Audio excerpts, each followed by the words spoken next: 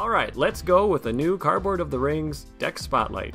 I'm Chad, and this is a deck I built called Stand and Fight the Harad Way. A link to this deck can be found in the description of this video. This is a Harad deck that does not use Steward of Gondor. It uses Kahliel, Arwen, and Spirit Glorfindel. The gimmick of this deck is to use Kahliel's ability, action, discard a Harad ally card from your hand to ready a Harad character in play, limit once per phase. And the Spirit event, Stand and Fight. It costs X. Choose an ally with a printed cost of X in any player's discard pile. Put that ally into play under your control. It can belong to any sphere. What you do is you discard a Harad ally using either Kahliel or Arwen's abilities, and then you stand and fight to play it. Because Arwen can discard a card to gain a resource, you can generate up to six spirit resources by round two, allowing you to play any Harad ally from the discard pile, assuming you have stand and fight. Let's talk about turn one.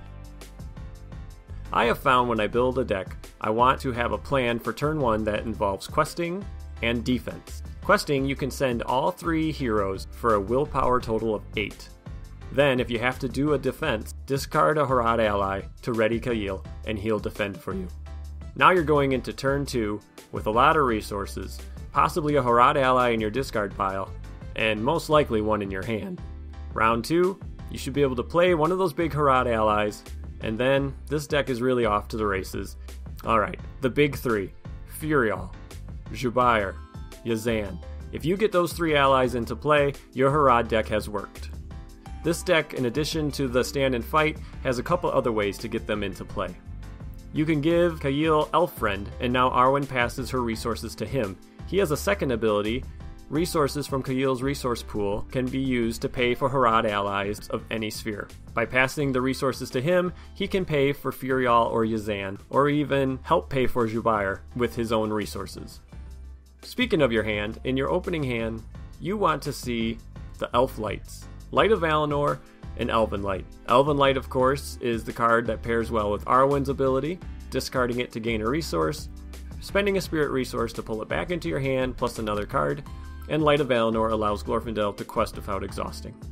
Other cards to see in your opening hand are Stand and Fight, and one of the big three Harad allies. There's a third way to possibly generate resources to pay for all these Harad allies the Ziggy Stargazer way. Use Stargazer to look at the top five cards of your deck, rearrange them, and then discard two with Ziggy and put those resources on Kahliel.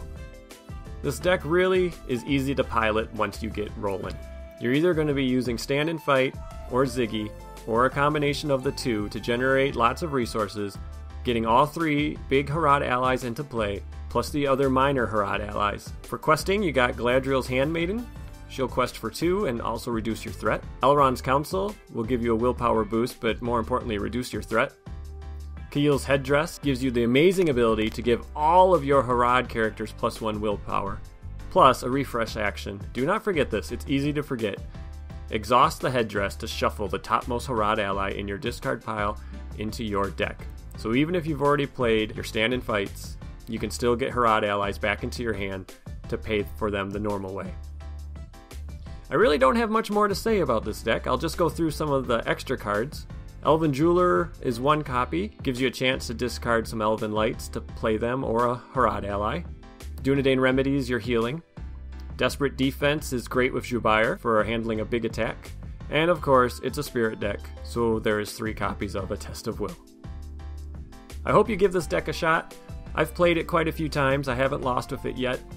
I have found that its quick start with the three powerful heroes and being able to get at least one hero level ally into play by turn 2 has made this a very fantastic deck, and I look forward to hearing how your playthroughs go.